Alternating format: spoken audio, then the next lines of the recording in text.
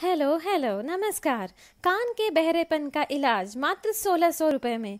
कोई ऑपरेशन की ज़रूरत नहीं, मात्र सोलह सौ रुपये दवाई मंगवाएँ और फ़ायदा देखें।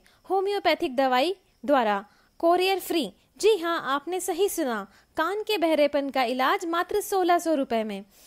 कान में सीटी बजने का इलाज। क्या आपके कानों में सीटी बजने की आवाज़ आती रहती है?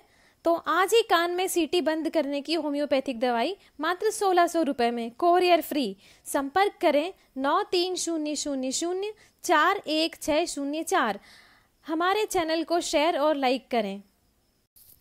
Hearing machine only in one thousand six hundred rupees checkup free hearing machine of all companies available with us at fair price along with repairing service contact at 93000 41604. Please share and like our channel. Thanks.